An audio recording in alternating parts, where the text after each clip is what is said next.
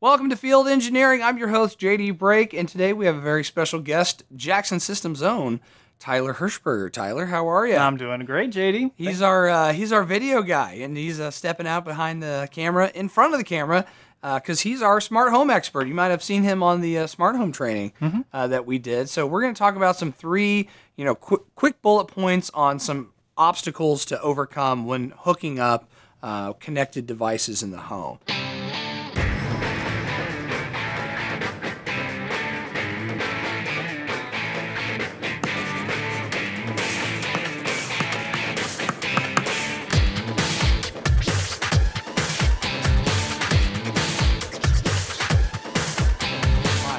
What are the three most, I guess, kind of roadblocks that our contractors would face trying to set up a smart home or build a smart home for the customer? Sure. So, like the big ones are going to be the passwords to begin Mm-hmm. with, making sure you have all your your Wi-Fi passwords and everything like that for the home's network.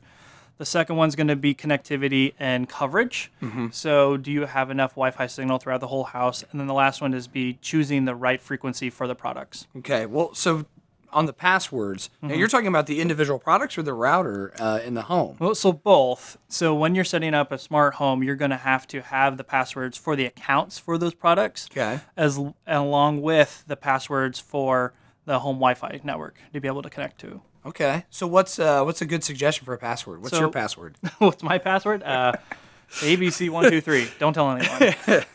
or uh, one two three One, two, four, three, four, five. Sounds like a jerk would have that as a password. Only an idiot. Only an idiot. anyway, so That's my password. so if you have if you're creating a, a password and username for the accounts for smart home stuff, we Mm-hmm. highly recommend that you actually have a unique one for your smart home.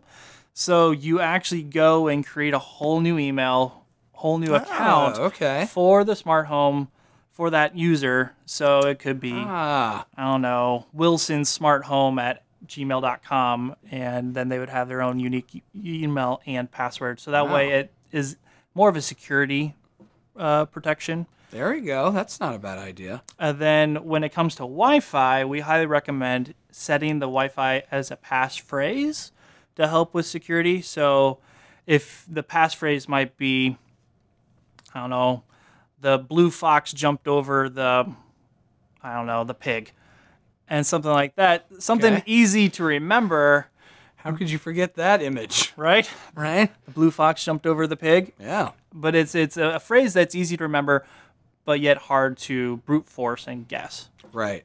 So then just replace like the vowels with numbers. Yeah, yeah, you like could do that, or or capitalize stuff, or put a period at the end. Yeah.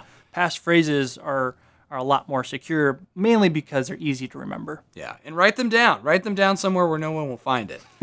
Write it down on a piece of paper and just put it on your counter. right, exactly. Hmm. Or put it on the fridge like people do. They're like, put their internet password right there. right there. on the fridge. Now, what about signal strength? Because I know some, not all homes are created equal as far as getting the signal strength from one end of the router, where the single point router is, Mm-hmm. to another end of the house. Um, I even experienced that too. Sure. Um, as far as I don't get a, a good enough, or I don't get a great internet signal upstairs in the loft as I do compared down into my living room. So how do we overcome that? Sure. So there's two ways we can look about it. So if if single point or mainly just having a single router within your home is going to be the main solution, you have to think of your your Wi-Fi signal as water. So if you Oh. get a router, put it in a little utility closet, lock all the doors, and then hope that you're going to get internet around the entire house, what you've done is you've just contained all that signal within that little box, and especially if there's anything metal in there, like uh, maybe you put in a utility closet with your equipment, and then it's just your signal is not going to be very strong around the house. Right. So if you can get that router out in more of a central location, like in a kitchen or something like that, where it's a little bit more open, and then that signal can spread out throughout the house, that would be one way of doing it. Okay. Or the second way is actually going a different route, what we would call mesh networking. So Okay. that's what we have here is a mesh router where you put multiple devices around the house and it would actually just extend that single network Ah, okay. all throughout the home so you have multiple points of coverage. Oh, I So- didn't know that. So this not only is a boost for signal, um, but it also can control the traffic uh, Yeah. for all the devices connected in there. Yeah, so this is a smart router, so you're going to have control of it from your phone, like every other device now today. And, Yep.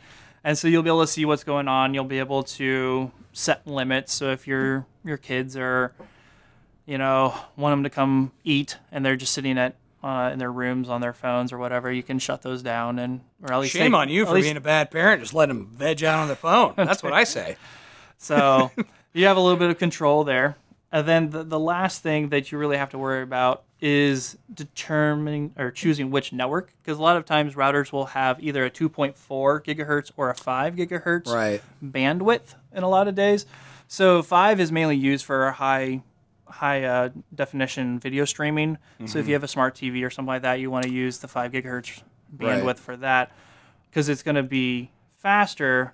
But the 2.4 is going to be more secure as far as it's just every smart home device that you have in your home is going to be speaking 2.4, and Okay. it's just a lot of our devices nowadays actually speak that that uh, protocol.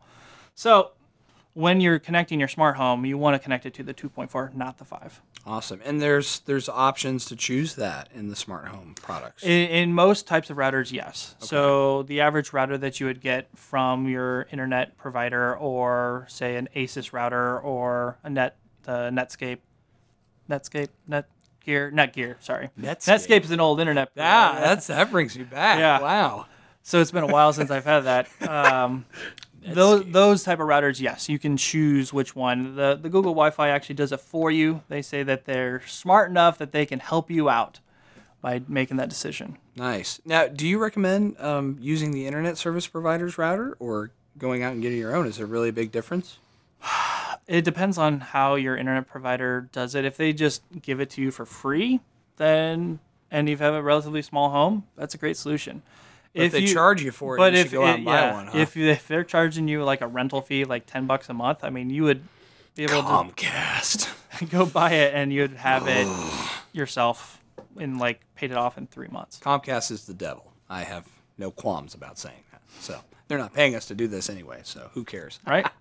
But uh, no, that's great information, Tyler. I mean, this is this is stuff we want to help the uh, contractors overcome and get comfortable with. And plus, they can always call us. They can even talk to you, whether whether you like it or not. Uh, we're gonna funnel some uh, tech calls your way for smart home because we want you guys to overcome that and take control of the smart home space because there's no reason why you should not be offering this to your customers and building out from whether it's starting at the thermostat and then building out into security, building out to peace of mind, convenience, all that. You can do all that. And uh, Jackson Systems will be here every step of the way. So if you have any questions, please give us a call at 888 652 9663. Check out the website. All these uh, wonderful products are available, especially this here on the website. But um, Tyler, anything else before we sign off here? Nope. Thank you for coming on. I appreciate it. Thank you so much for watching the first episode of Field Engineering for 2020. We hope to see you next time. I'm JD Brake. Talk to you soon.